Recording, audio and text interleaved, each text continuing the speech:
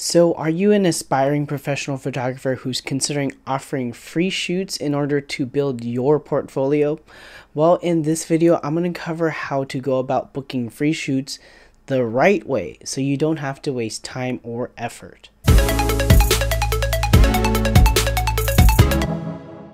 What's up guys, Reggie B Photo here and welcome back to the channel. So for those of you who are new, my name is Reggie Ballesteros and I'm a wedding photographer based in the San Francisco Bay Area.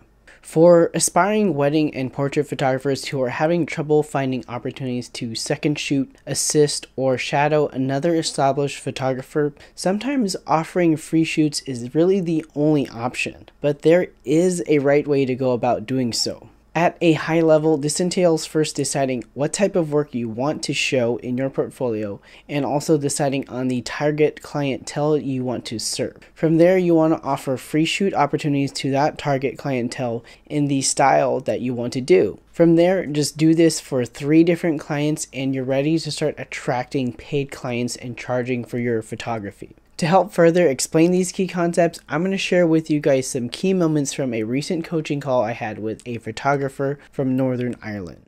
What is the major challenge that you're facing? I'm having really hard time of getting enough clients to fill in my portfolio, at least to make my future clients feel comfortable that working with professional photographer, you know. Yeah. So from what you're saying is you're again you, you're having a hard time um, yes. getting getting enough clients, right?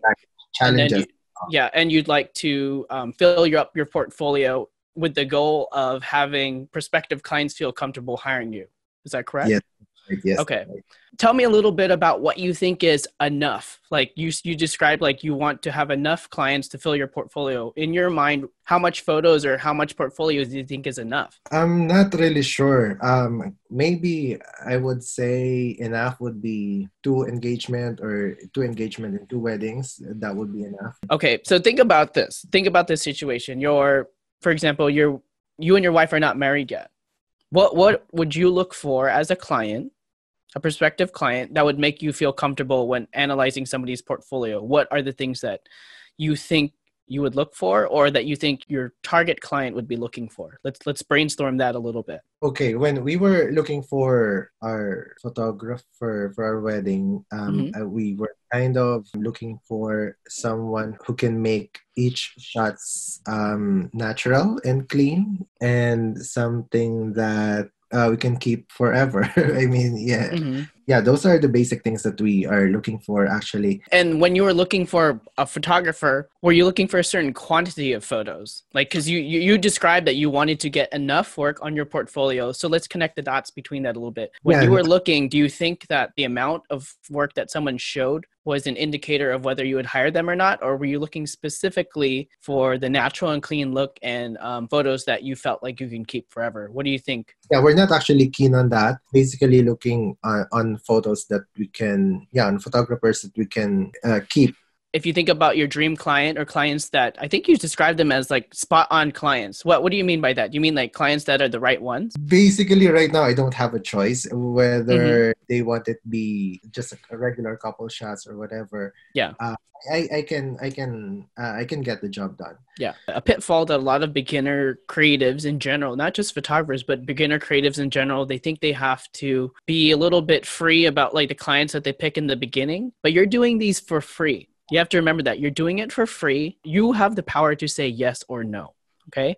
So mm-hmm. let's think about it a little bit. What is your dream client? Say you have five years from now, you have the successful business, the phone is ringing all the time, right? You can't yes. take everyone. So who are the ones that you will take? These are the type of clients that I want. How would you describe those people? How would you describe the type of photos that you're making for them? What are the type of people you want to serve? And what type of photos do you want to give them? yeah so right now i'm basically basically focusing on um, engagement but as far as like the couples themselves is there any type of traits or personality things or aesthetics that you you personally enjoy and that you think other people would enjoy on the last couple session that i had i only went on um, the natural type or, or, mostly journalistic type of photography. Mm-hmm. At this point, you think your focus and what you want, the direction you want to go into is more natural, more candid, journalistic type of photography. Yeah. And then would you say that if you had a dream client, they would be looking for that same thing too? I guess so because I think most of the people right now they're kind of conscious when it comes to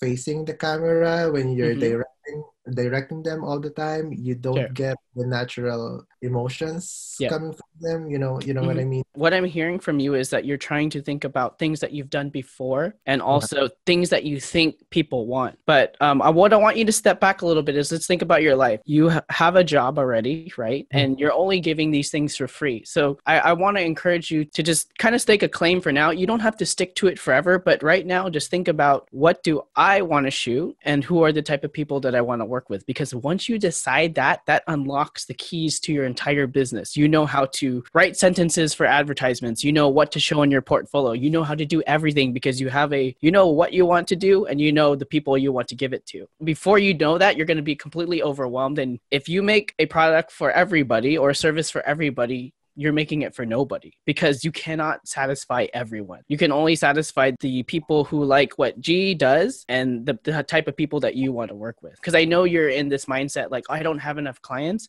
But the moment you start deciding what type of clients you want and the type of work that you want to, to do, it will help you formulate everything. So so write those questions down is who do I want to work with and think about it from the perspective of like what do they do? What is their personality like? What is their interest like? And then in the realms of photography, what type of photos do they like? What type of photos are they looking for? What do they want in the photos and what do they not want in the photo? Those are all important questions that you need to answer for yourself because we'll move on and I'll show you why. You also have to intersect that with what do you also personally enjoy and what is the style that you want to do. So once we come up with the answers to those questions, then that dictates one, the type of clients that you're going to look for when you're doing free sessions. For example, if you only want to photograph people who want to do photojournalistic, more natural stuff, if you get a free client and all they want to do is photos that are looking at the camera, that's all they want, it's not going to serve the purpose. We're going to get nowhere. We're going to go backwards. Does that make sense? Yes. Yes. Because then all the photos that you'll get to put on your portfolio are the ones that they're looking at the camera. And that's not our goal. You want to do more photojournalistic, more natural natural stuff, right? Yes, that's right. So, how are you finding these couples in the first place who want to do free photo sessions? The regular ad- advertisement. Okay. Okay. So think about this. Um, what is the what is the wording that you use in the advertisement? Uh, if, if, if, if you don't remember, then I'll I'll I'll just give you some examples. So if you just put like free photo session, that's one thing, right? But imagine if you just added one more one more phrase, like free engagement session in photojournalistic style you see you see how that's different you can say are you tired of photos where everyone's looking at the camera i'm offering a free engagement session in the photojournalistic style limited time offer do you mm-hmm. do you, do you kind of see how the first one is just free engagement session right and the mm-hmm. second one is targeting a specific person and turning off people that don't progress your goal. Yes, I understand that. So. Cool. When you make an advertisement, right, you have to pay some money and you pay per like click or per impression. So I would say it's better to start putting the qualifier in just a couple sentences in there to tell people that, oh, I'm only going to do documentary style work. So now you know that when everyone who clicks that advertisement, they already know, oh, G is only going to offer us the photos in this documentary natural way, not the ones that we're looking at the camera. When you email them, they already know that. Does that make sense? What if I told you that five of the people that click on it want only camera aware photos and then five of them want the documentary style? But if you change the wording, I can guarantee you that one person that clicks it's going to do camera aware photos and then nine people are going to be looking for documentary natural way. Does that make sense? You want to yeah. start all the way from the beginning of where you started in the first place. These couples found you through a Facebook ad. So we want to make sure that the Facebook ad is already going to give you the opportunity to work with the couples that you want to work with in that documentary natural style. And then once you do the those sessions, then we can put that in our portfolio and only show documentary natural style. Mm-hmm. And then now you'll have enough work at the end of this effort to have again photos in the documentary natural style so that when you as a prospective client are looking for someone that has a specific direction is like then when you go on your website that's all you see you don't have to worry about filtering through the camera aware photos and stuff like that because you were never looking for those type of free clients in the first place. Because when you're doing something for free you want to be very judicious. You want to make sure that your time is limited. You don't want to spend time away from your wife um, especially during all this stuff like they need to be calculated risks. So make mm-hmm. sure that the opportunities that you're taking for free sessions are going to serve the purpose of your end goal which is to give yourself enough work. And when you just told me that right you said i wasn't really keen on looking for the number. I was looking for the style. So now we know that we need to focus on just the style right? Yes exactly. But there, there was a possibility that what if every single person that clicked and did your advertisement what if every single person didn't like documentary style? That was a risk that you were taking by not writing that down.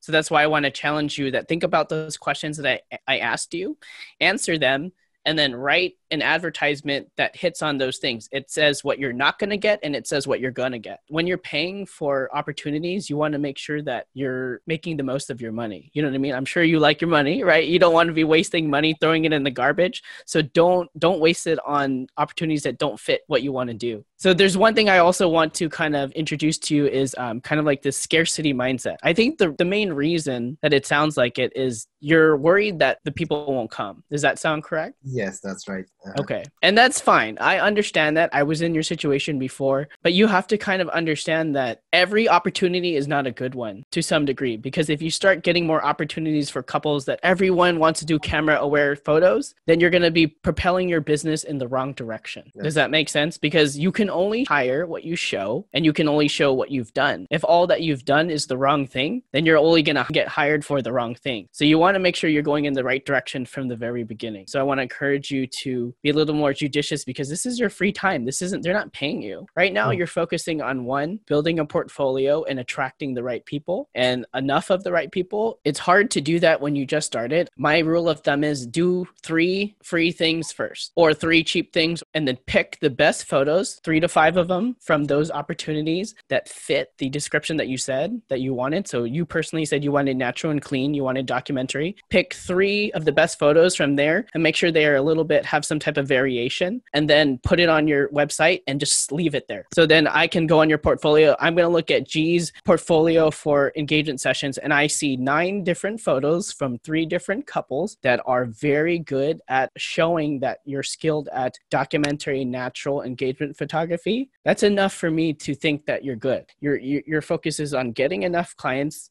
based on your portfolio. So that's what i'm helping you solve is you need a portfolio that shows what you want. And then we also are attracting some leads through advertisements. So we want to make sure that we're attracting the correct ones that will fill the portfolio. Once you fill that portfolio up with those nine photos stop giving it for free. The way that you have to look at these clients that you get in the beginning that are free there's a potential that they might not refer you to anybody. And you don't really need that because the only thing that they can tell their friends is oh i did it for free so it was okay. Yeah. that's not what you want so what you want to do is just use them for their purpose, which is to build your portfolio. That is an investment worth making, is using your time and your skills to create a portfolio. That that's a good return. Um, and then after that, once the portfolio is already built, you need to get out of the mindset that I need to build more portfolio, and you actually have to start turning this into a business, which is to make money off of, of a service that you give.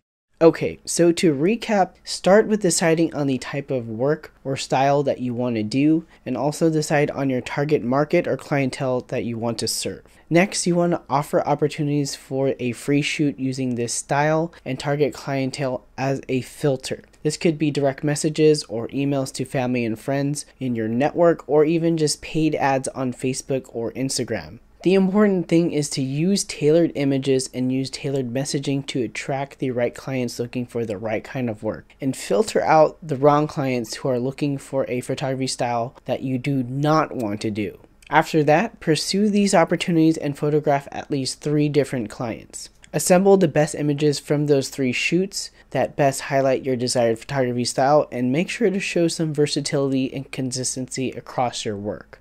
And after that, you're ready to start charging for your work and adding to this portfolio over time. Again, selecting only the images that highlight your unique photography style and that adds versatility and shows consistency. So I'm curious, was this type of video about photography business and including the coaching call helpful to you? Let me know what you thought down below in the comments. If you learned something new today, please give it a like and be sure to subscribe if you haven't already as I make a new Fujifilm or photography video every week. And if that's too long, please follow me on Instagram at, at ReggieBPhoto as I post new tips, tricks, and tutorials throughout the week. Alright, that's it for me. Remember to get out, go shoot, and I'll catch you guys in the next one.